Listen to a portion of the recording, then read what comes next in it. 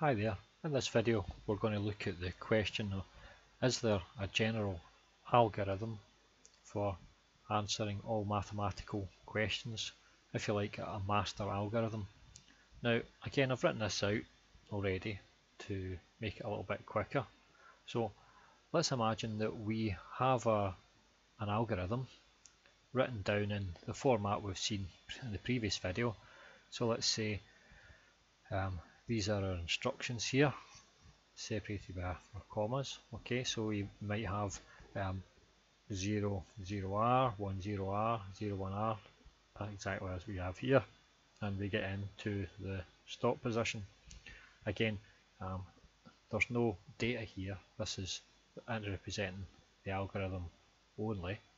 Okay, so we could represent this algorithm using that form of contraction uh, if we let 0, 0, we define define the 0 and it would be a, a, a 0, 1, 0 would be define the 1 and a 0, 1, 1 would say define R and a, a 0, 1, 1, 1 0 would define an L and this one here a 0 at the beginning there. 1, 2, 3, 4 zeros, 4 ones and a 0 would define stop.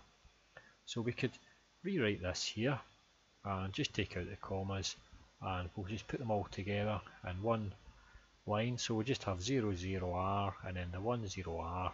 How if I put them all together here. So we could then take this and we could form our contraction. So 0 would be 0, 0. The other 0 would be given by the 0, 0 and the R would be given by the 0110, so that's 0110, which is the R, and again the other one will be given by 010, and we continue along all the way along till we get to the stop, and the stop would be given by our 011110. Okay, now the reason for showing this is that this is one particular set of instructions okay and the instructions are being have to be um, they have to be in that particular order. So if the instructions come in in that particular order we could take that number there which is uh, a binary number and we could create a uh, the decimal number from it. So for example that might be um, number it's not actually this number but I'll just made a number up but it might be number say 4 7 513264. So we could say that that there is algorithm number 47153264. Now we could have a different set of instructions and we would have a different algorithm. Okay, so we've got an infinite number of possible instructions that we can set out. So we could will have an infinite number of possible algorithms.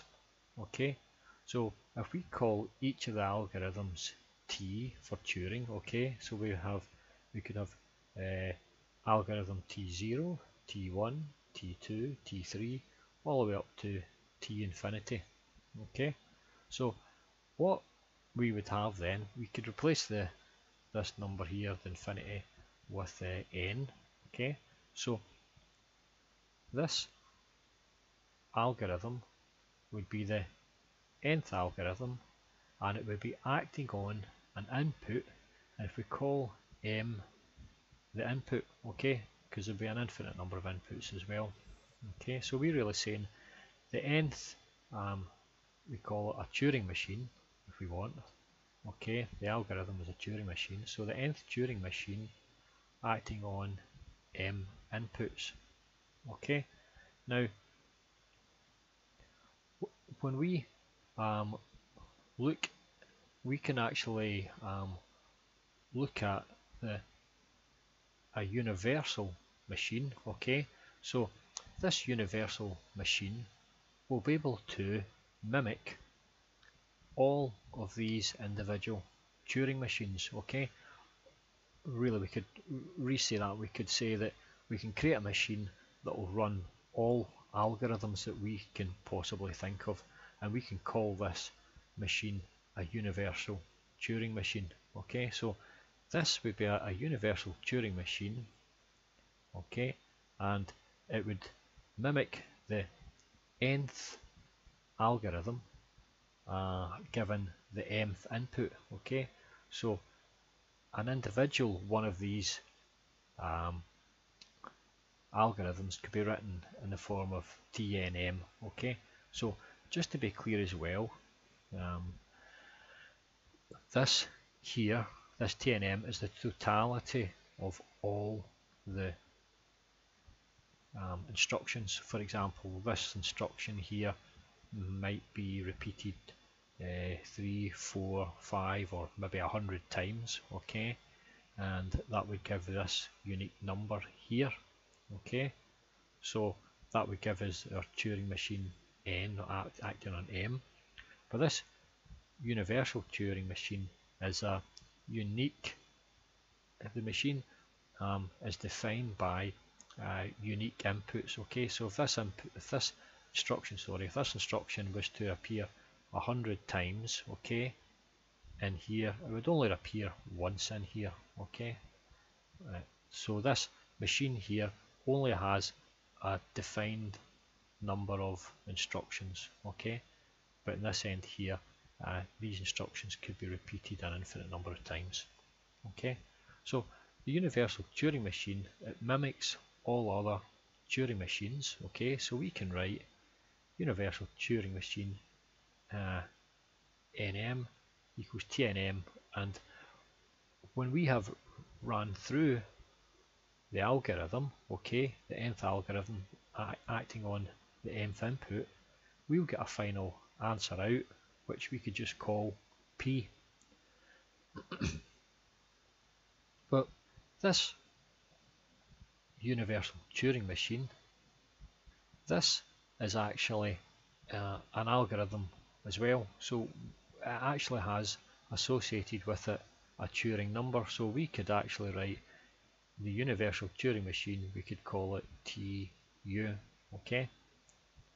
Now, given this, we've still got our set question that we um, were asked at the beginning. Is there an algorithm for answering all mathematical problems.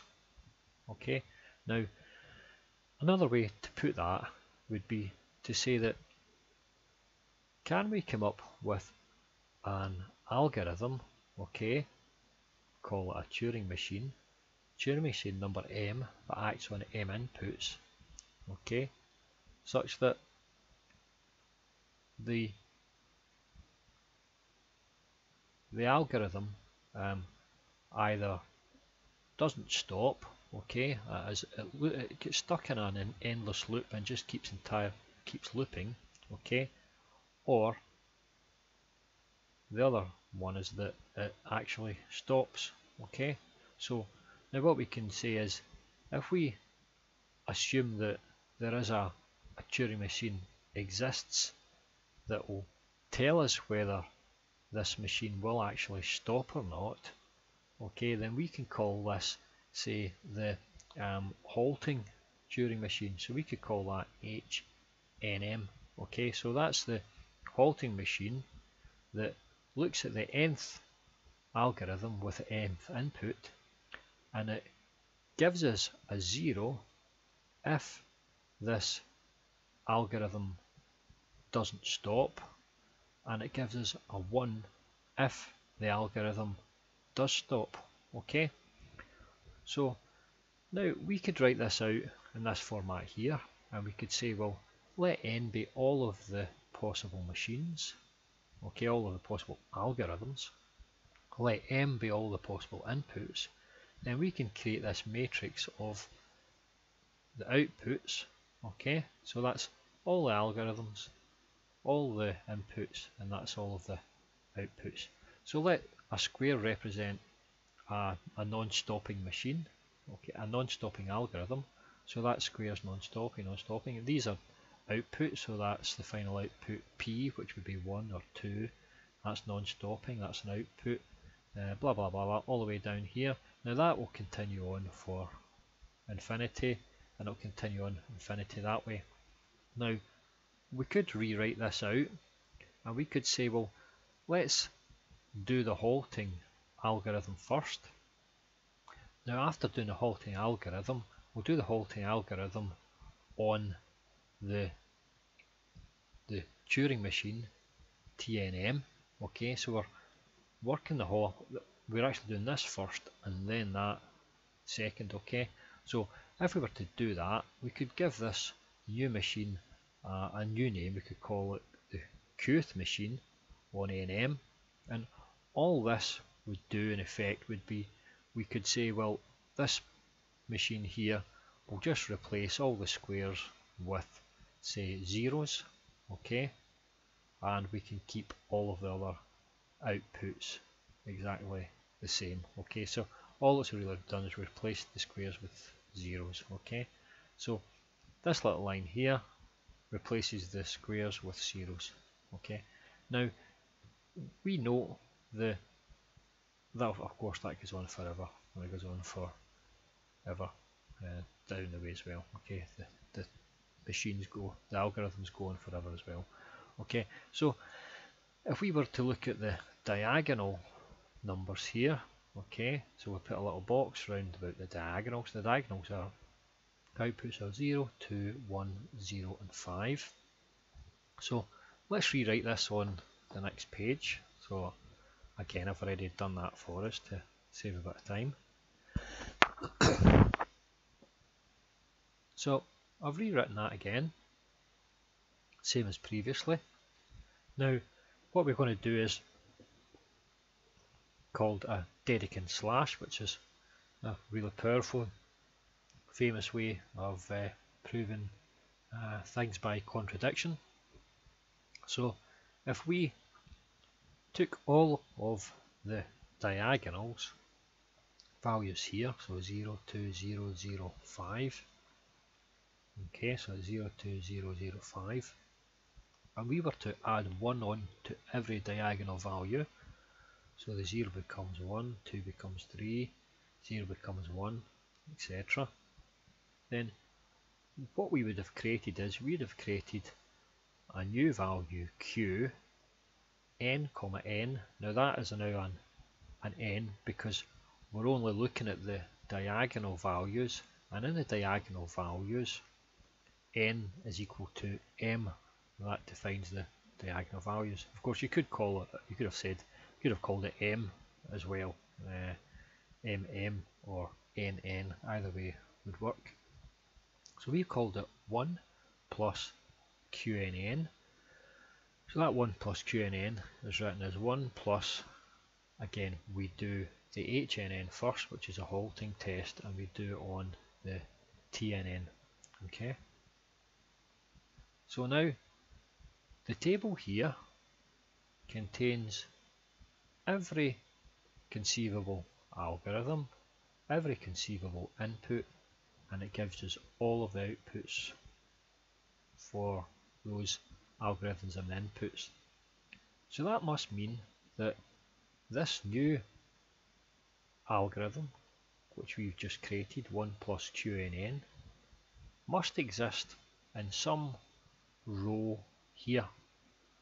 Okay, it will be algorithm number uh, 375 billion 274 million blah blah blah blah so somewhere down here there will be a row okay and that row will represent the outputs of this algorithm. Okay, now the problem is that, and this is the reason for doing the Dedekind cut, is that no such row can ever exist because the diagonal here on that row will some point along there that he'll hit the diagonal and the diagonal will be out by one Okay, now that's quite a neat and acute um, way of, of, of pr proving something by contradiction. So we have a contradiction, and the contradiction tells us by the method of Dedekind slash that this halting algorithm, HNM, does not exist. So in effect what we're saying is we can't tell whether an algorithm is actually going to halt or not. Okay, so we can't actually create a master algorithm. Okay, so there is no general algorithm for deciding mathematical questions. Okay, now that's all there is about the maths of algorithms. Um, I just added it in because I thought it might be uh, interesting uh, an interesting start. Okay, right, thank you, bye bye.